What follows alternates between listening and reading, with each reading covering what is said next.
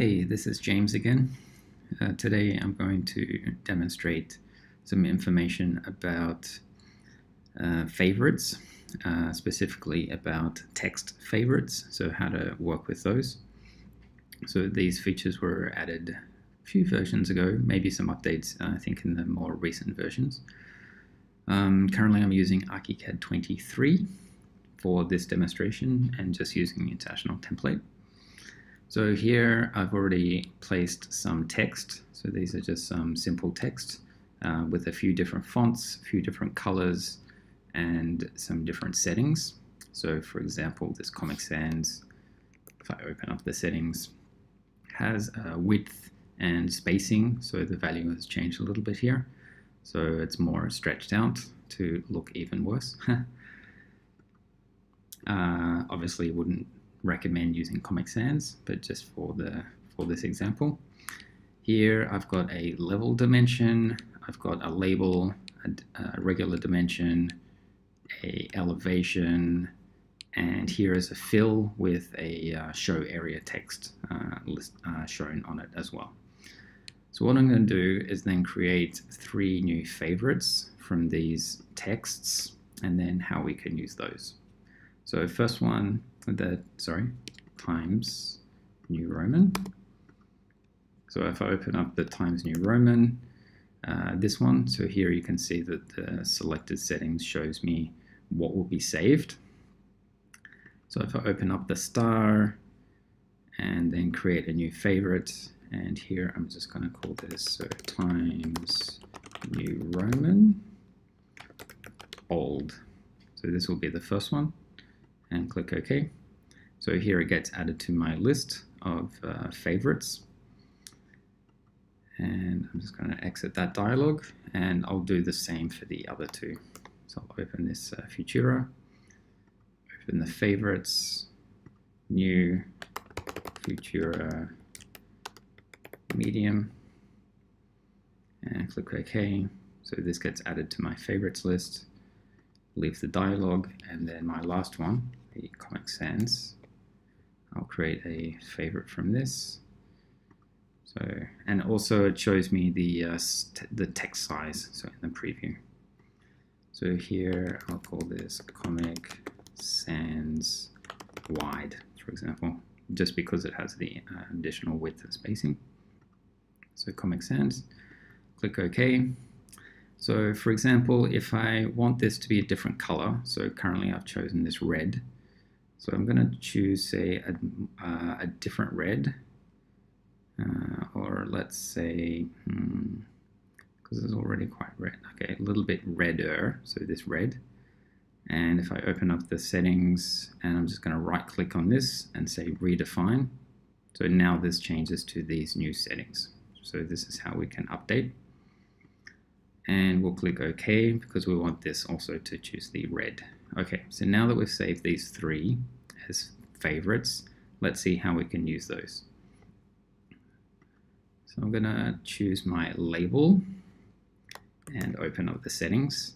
Now, if I save a favorite, uh, it's going to include everything in this list. So it's going to include the, uh, include the information uh, stored, the object, the uh, properties, etc but I just want to update the, the, the, text itself. So I don't want to affect the label.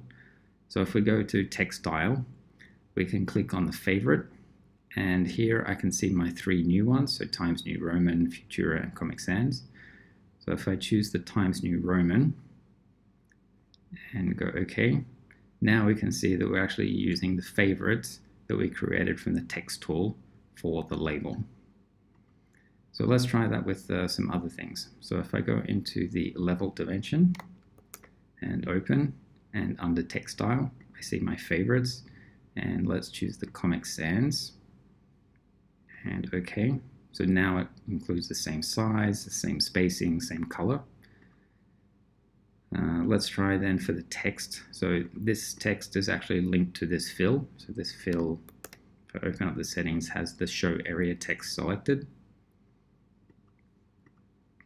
So if I select just the text, open its properties, and under text style, maybe for this one we'll try the Futura that we created.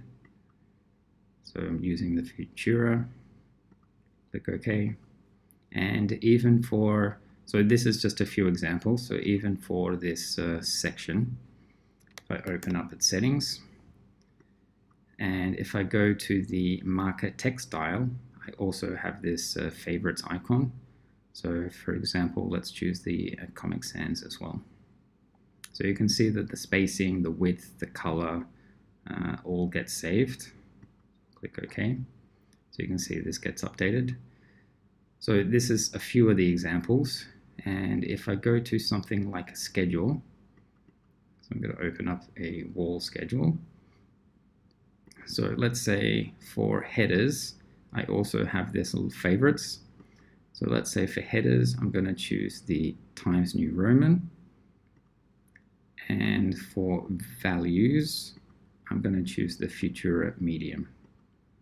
So to update the spacing, I'm just going to use the dot dot dot and I'm going to automatically resize the columns and resize the rows just so it fits in so it doesn't uh, crop it. So here you can see that just with creating a few texts on the floor plan based on your uh, company styles, you can then use those favorites uh, pretty much anywhere that text is. So if you're creating a lot of different schedules, then this can be an easier way to get some consistency through the documentation. And maybe for the total, let's choose the Comic Sans. So if we go back, and I'm just going to choose this Futura Medium and open, and I'm going to choose a different color. So let's say the, uh, let's say purple. And so I'm going to right click on this, redefine to update to purple. So obviously this won't apply everywhere, but I can then just go back in, edit this text, and choose the Futura. So now it will include the updated purple. And if I go back to the schedule, select anything that's a value, and again choose the Futura medium, then everything will change. So hopefully this is an easier way to then like to or to store your company standards for your text to be able to use it everywhere in your model. Cool. Thanks. Till next time. Bye.